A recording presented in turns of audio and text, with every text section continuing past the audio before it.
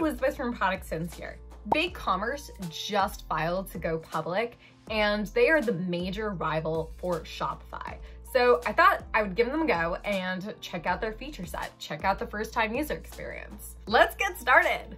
So I did the Google search for BigCommerce. I get onto the page and it says, create an unfair advantage. What spectacular wording. And they're already starting to give me case studies. They're like, here are some quotes, here are some case studies of how you increased the average cart size by 30%, how you increased actual purchasing by 50% because you're mobile optimized and so on. And I was like, this is beautiful. You are buying me into the end product. I will stay on this platform for weeks, months, just so I can get to these beautiful metrics. I'm already becoming very gritty with your product. I went into the enterprise product demo. It was 17 minutes long. They said, watch it at your leisure. Definitely skip through the last two thirds, but I got to the end and I was like, oh, could I have 3,500 enterprise customers? That's exactly why you would have that relationship with someone. They were starting to talk about their backend and I was like, this is pretty common terminology, but also if you don't spend as much time in code, you won't know that language. So it is interesting to me that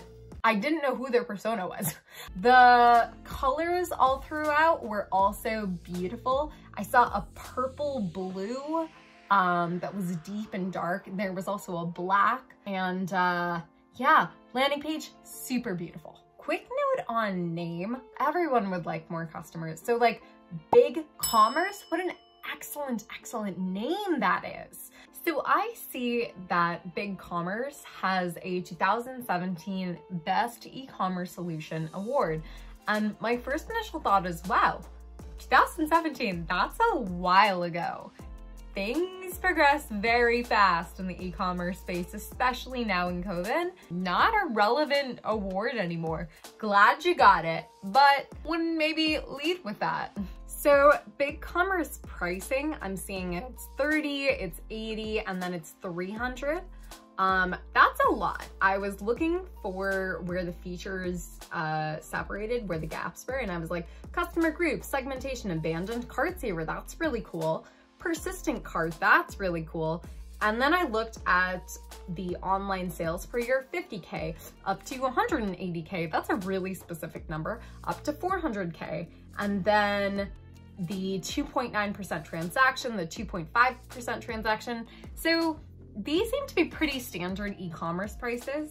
And I do think that big, big commerce is definitely a little more expensive than something like Squarespace or Wix but I don't know how they compare to Shopify or Magento. So maybe, so they they do seem a little cheaper for the bulk that you're getting. Now let's look at the FTUX, the first time user experience. When I come onto the platform, what are you gonna give me in the one minute so that I can feel successful and keep going on? Or what are you gonna give me in the five minutes? What will make me say, wow, that is so cool. I absolutely would need to do so much more work to be able to get to that magic moment that you made so easy.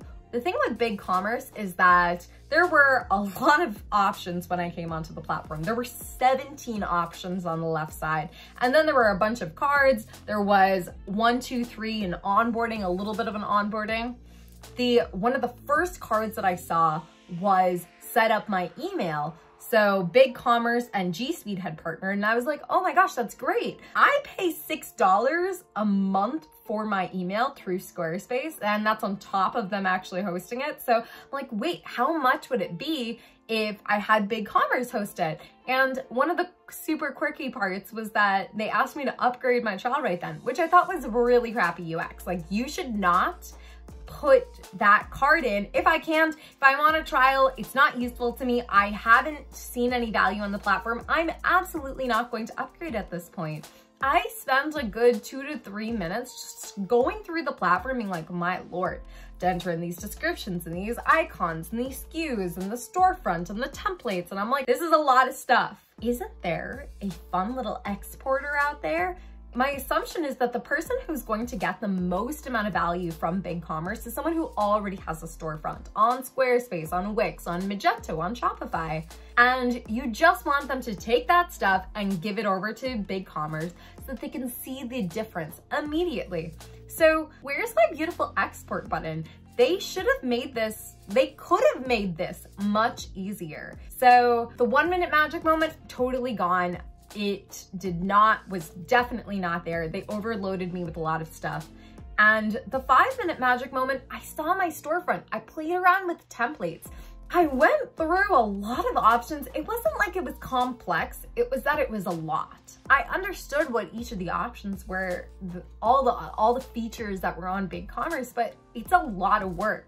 And I knew that this was not going to be a super easy 30 minute or even 10 hour setup. This was going to be a good week plus worth of work. When you have a trial that's only 15 days, that's too short of a period of time. So I found that one minute magic moment, meh.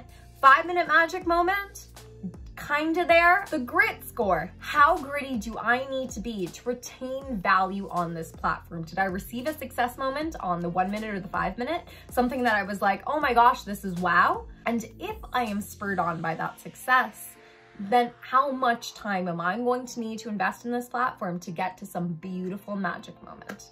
And my grit score for this is 10.